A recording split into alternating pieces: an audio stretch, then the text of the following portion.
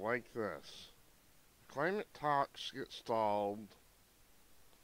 Pope may gently intervene. Means he's going to stick his nose in where it doesn't belong.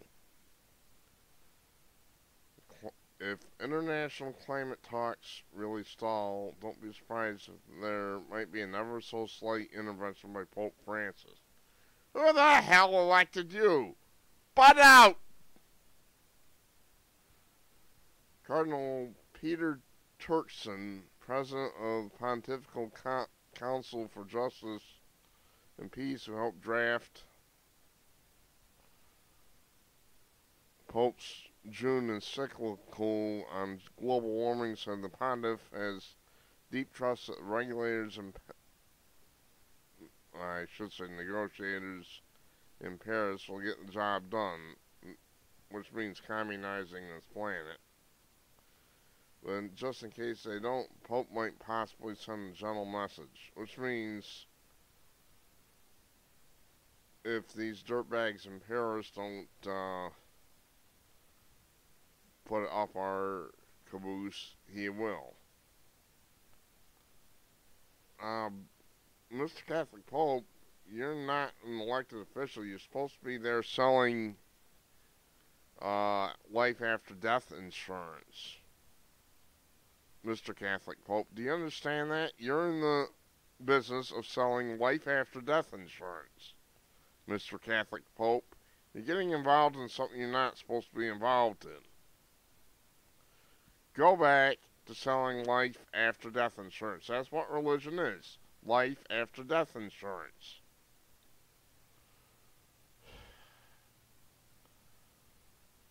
That's all we need is for this dirtbag to get involved in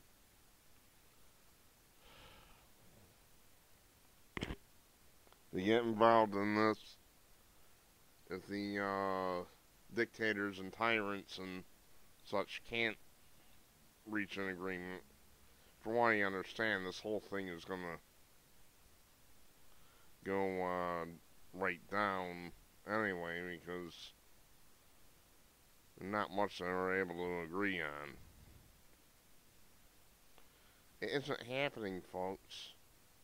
Yeah, we've got an El Nino working here, and it's been unseasonably warm. I realize we're in an El Nino here. Other other parts of the country are getting socked. It happens every so often. Look, folks, the Arctic is freezing up more and more. The Antarctic ice is growing. It's if you look at the actual geologic record, supposedly normal for this planet is uh, ice free. But we're accustomed to having ice everywhere and Antarctic frozen, Arctic frozen. They found uh, what do you call it, uh, tropical plants, fossils, up in Norway recently. It's all a bunch of, it's a big hoax. It's, all it is is extortion to get money from you. These are rich billionaires who only care about money, money, money, money and power, money and power, money and power. They're setting up a global business called Cap and Trade. That's what they want to do.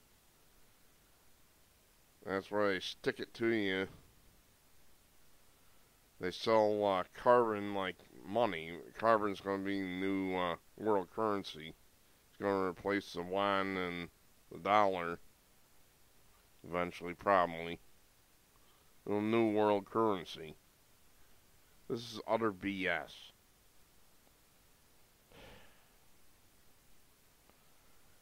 Butt out, Mr. Catholic Pope. That's all I got to say to you. Butt out, dirtbag. Sorry if I uh, offended any Catholics out there, but in my book, he's a dirtbag. He's not a religious leader. If he is a religious leader, he'd go back to selling life after death insurance. If you're a preacher, you sell life after death insurance. That's what you do. I'm Artifacts Mars. Thanks for watching.